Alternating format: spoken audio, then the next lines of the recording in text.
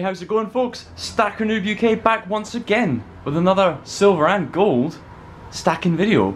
Hope you're all doing really, really well. Now, it is an absolutely sweltering day in London today. It's 37 degrees, so if you hear some background noise of traffic, I've got my windows open, I have no choice. You'll have to just deal with that, I'm afraid. So anyway, um, this is a this is a video that I'm really, really been looking forward to make over the last couple of weeks since I did a bit of wheeling and dealing. Obviously the price of silver and gold has been absolutely rocketing recently. Excellent vindication for us silver and gold stackers that we look like we might be right in the long term about the, the long term value of these things and the effect of monetary inflation and things like that. But for me, I always overstacked silver than gold because silver was obviously the most undervalued of the two metals in my eyes and I've always looked for a ratio of 50 to 1 silver to gold to start changing my silver into gold. Now obviously we haven't quite reached that point yet. We're on about 70, 75 at the time of recording. But if we take into account premium items, then I can get to that ratio very, very easily. What you're seeing in front of you now is the Marvel silver coins from the Tuvalu Mint. Um, there's eight of them there. The most expensive one right now is Spider-Man. He can fetch nearly a hundred pounds just for that one ounce coin.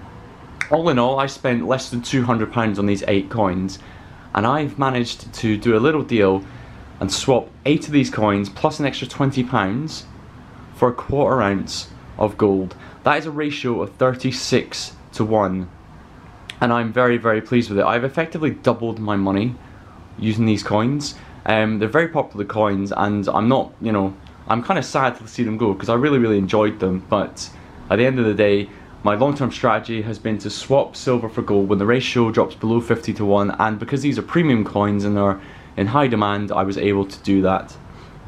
So what is it that I picked up? Well some of you may have seen my uh, my gold collection before. Um, it's not massive but you know there's a, a few pieces here and there. So I have five quarter ounce gold coins so we have the Britannia, the, the Lion and the Griffin Queen's Beasts. We have the Philharmonic and it's a bit sideways, but that's the uh, Perth Mint Lunar Dog quarter ounce. And then we have a little 10th ounce Britannia there as well. Lovely jubbly. We also have, of course, the uh, uh, the one gram Panda, and then finally we have our two and a half gram Pamp Bar. Lovely stuff. But um, yeah, like I say, I've, I've been looking for more gold and I took the opportunity to swap these coins for something I've been looking for for a while. And here it is. We have a quarter ounce American Gold Eagle and it is absolutely beautiful. Absolutely beautiful indeed. I'm not actually a big fan of the um, of this side of the coin, the Eagle side. I think the design's a little bit, it's a little bit dated. Having said that, there's a reason that this would be dated. This coin, if you can see that, MCM LXXXVI 1986. So this coin is over 33 years old and it's looking lovely. So, it's in good nick, but it's not ever going to be a graded coin or anything like that. So I'm going to take it out and have a look with my bare hands. And here we go absolutely beautiful stuff. So yeah, I'm really, really pleased that I was able to play the ratio game in the way that I have. Like I say, 36 to 1 is the ratio that I got for this. This is a quarter ounce for effectively 9 ounces of silver. Um, it was 8 ounces plus an extra 20 pounds, which uh, gives, if we round that up, takes us to a total of 36 to 1. And I'm very, very, very pleased. And I've always wanted an eagle. They're, they're very attractive coins. Not um, not 999 gold, of course. Um, I think they're alloyed with a little bit of uh, nickel or copper? I can't remember.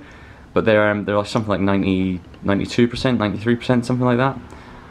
Don't quote me on that though. I cannot remember exactly.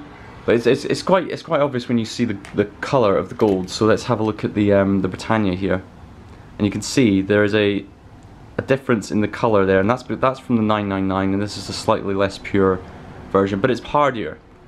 This this this version of gold is obviously a bit more easily um, taken care of. It's much harder for wear and tear to show. But yeah, isn't that just beautiful. What I might do right now is put on my macro lens in this camera and see if we can have a look at some of these lovely details. Okay, so here we go. So this is a, a nice zoomed in picture here of the uh, of the year. So MCML XXX So that is 1986. Let me just zoom out slightly. See if we see any more detail.